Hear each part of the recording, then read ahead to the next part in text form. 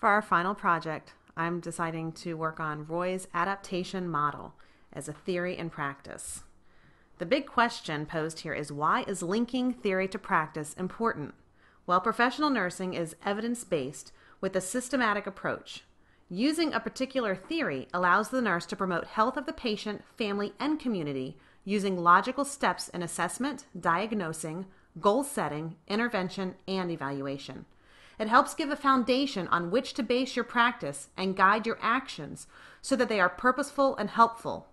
With Roy's adaptation model, it is important to acknowledge that the patient will not always return to a previous state of health. In fact, death may be the final outcome of the situation. No matter the final outcome, the way the person is able to respond can bring about increased health, peace, and improved overall environment. According to Phillips, Roy's adaptation model defines health as being and becoming an integrated and whole person. It also says that the goal of nursing is to help the person achieve adaptation. This will lead to optimum health, quality of life, and death with dignity. To help the person learn to adapt for the sake of health and well being is a nursing goal fitting for every patient and situation. The case scenario that we're going to use today is of a 43 year old woman who is admitted with abdominal pain. She is diagnosed with metastatic cancer that has spread throughout her body. The doctors are unable to locate the primary source. She is a single mother of three boys who range in age from 11 to 15. She's in a serious relationship with someone. Within two months of her diagnosis, she's cachexic, has lost all of her hair, and has constant severe pain in her back. It was decided to place a feeding tube for nutrition and to perform a celiac plexus block for pain control. Now that we have a case model to compare to, Let's look at an overview of Roy's adaptation model, also known as RAM.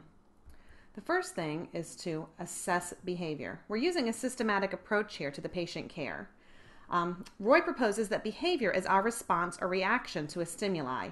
This behavior is going to be either adaptive and healthy or non adaptive and ineffective.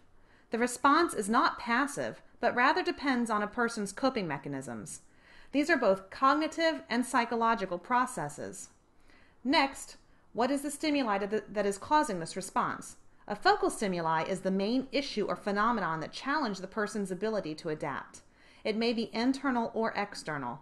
Contextual stimuli are ones that directly have an impact on the focal stimuli.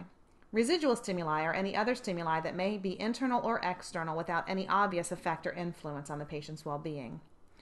Next, our nursing diagnosis is based on how we view the person's adaptation, not just a nursing diagnosis.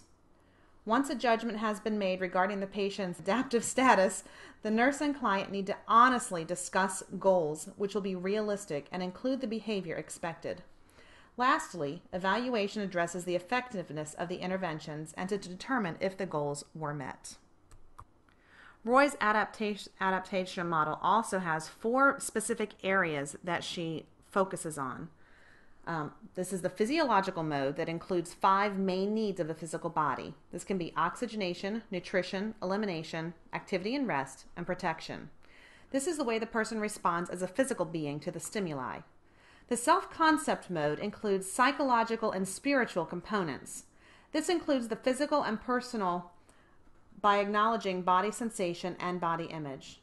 Interdependence involves close relationships, and the role function mode refers to the roles of the person and their function and expectations of these roles. Now that we have the basic outline of what Roy's adaptive adaptation model has, let's go ahead and put together a care plan for our patient. First, let's go in order again and be systematic. We're going to begin with the physiologic mode. Physically, we see that the patient has lost a lot of weight. She's fatigued and she's in constant pain. The main stimulus that is causing this is her regulatory subsystem, and it's cancer. Um, it, it's solely responsible for her physical responses. Secondary to the cancer is impaired nutrition that is compu- contributing to her weight loss and a risk of infection. That's the contextual stimuli. After assessing the stimuli and the behavior, we need to come up with some nursing diagnoses. These are pretty self explanatory. She has altered nutrition due to anorexia and the disease process. She's a potential risk for infection related to chemotherapy. She's a risk for impaired skin integrity due to decreased mobility, mobility and she has pain.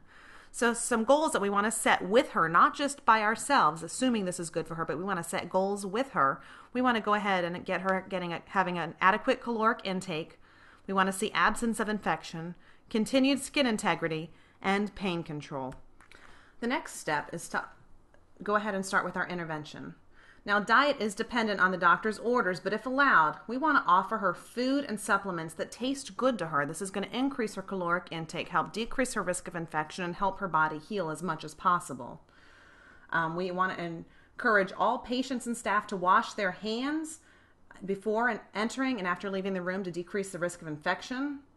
Reposition her as often as possible and apply protective barrier as needed to decrease any risk of skin integrity or skin breakdown.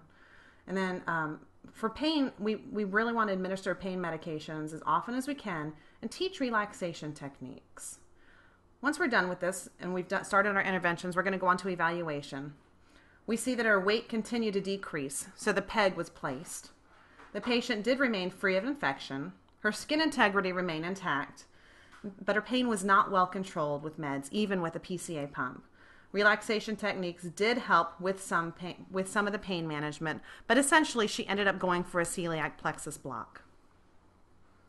With our patient's physiologic mode, we saw that her level of adaptation was definitely compromised. But let's go ahead and start on her interdependence adaptive mode. Let's start with the assessment of her behavior. She does have a significant other and family members that are highly involved in her care. She has three children who visit daily, and the patient appears relaxed with family. Let's assess the stimuli. We see that the, the focal stimuli is that the patient is physically removed from her family because she is in the hospital. Contextual stimuli show that the patient is a single mom who is in a serious relationship. Looking at this assessment right off, we see that her level of adaptation for this is integrated. Her behavioral responses to the stimuli of being in the hospital for an extended time show a high level of adaptation by her and her loved ones. Next, we want to go, up, go ahead and come up with some nursing diagnoses. Despite that she has an integrated adaptation and self concept mode, there's still a risk for anxiety or change in her support dynamics due to the nature of the disease. So let's go ahead and set some goals with the patient and encourage some quality time with family and friends that can allow a, a continued success rate. For interventions, we did we're going to allow the privacy. We're going to allow for flexibility with visitation schedule and accommodate the family. And we want to encourage her family and loved ones to be an active part of care. And by family, we're not just meaning children or blood relatives, but any significant others in her life at this point. In evaluating, we see that our patient has remained free from anxiety and continues to have family and support systems that remain constant. This shows that her adaptation continues to be integrated, which is the highest level of adaptation we can achieve. Okay, before moving on to the self concept mode, let's do a quick review here. We've looked at the physiologic mode, which she had some impaired adaptation. Um, her body physically is just not adjusting well to the cancer. Um, some of our interventions when we evaluated them were not successful, and so other interventions had to come into play. Some of them were successful. In her interdependence mode, she was highly adaptive, very well integrated, um, and, and that's been great for her. Um, so let's next be moving on to the self concept mode, and we're going to start with the behavior assessment. Um, she has not verbalized any concerns to the nurse regarding her cancer or prognosis. And um, despite her weight loss and hair loss, she remains well dressed, wearing some street clothes as much as possible, always has on a little bit of makeup, and actually has a healthy glow despite her illness. Um, looking at the assessment of stimuli, the, the main focal stimuli here is that she has a poor prognosis. Um, this is very much an impact on your self concept. Uh, contextual is just the lack of energy and a change in a physical appearance due to both the disease process and the treatments coming up with some nursing diagnoses here for her self concept. We're looking at a risk for spiritual distress. Um, just again, with the poor prognosis, this leads to thinking about the end of life and what's coming next. Also, any unresolved issues from the past or recent will have an impact on the patient's self concept and spiritual well being. Um, self esteem disturbance is possible due to physical deterioration.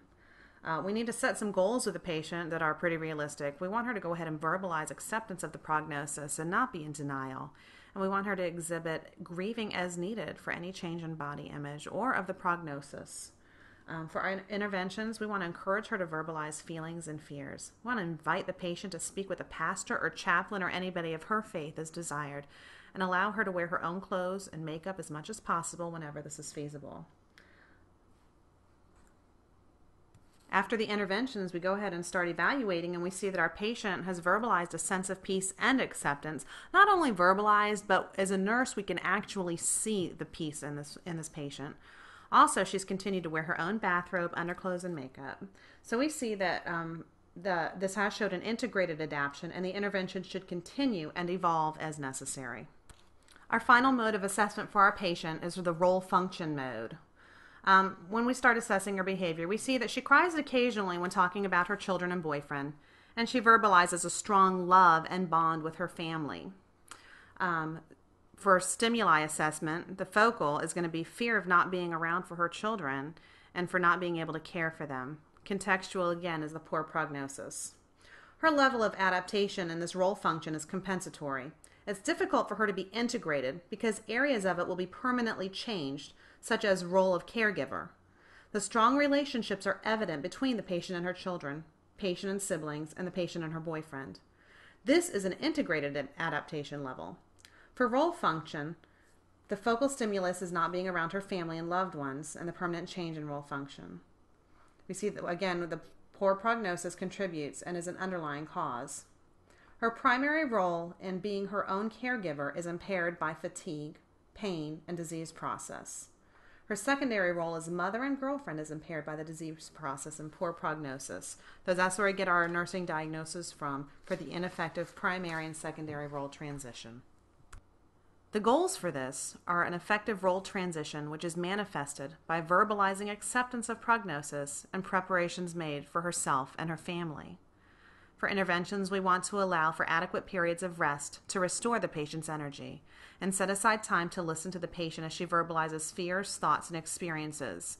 Again, the same with the other interventions previous, we want the family to be there as much as possible, allow for private time. Because those interventions have already been started, we're not listing those again here. For our evaluation of this, um, the patient did die with dignity, and her family was at her side and all of her preparations had been made. She was surrounded by loved ones, and her effective role transition was manifested by a peaceful passing. So, our concluding question was there really a difference using Roy's adaptation model? Absolutely. Instead of focusing on nursing tasks, using this theory allows us to focus on the patient as a whole, using more of a holistic focus on care.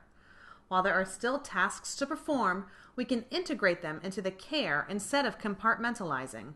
Focusing on the patient instead of the task allows us to reprioritize our goals and set goals with our patient, not just for them. This is the way nursing care should be provided. So, after this study, we're deciding should we use theory for all patient care?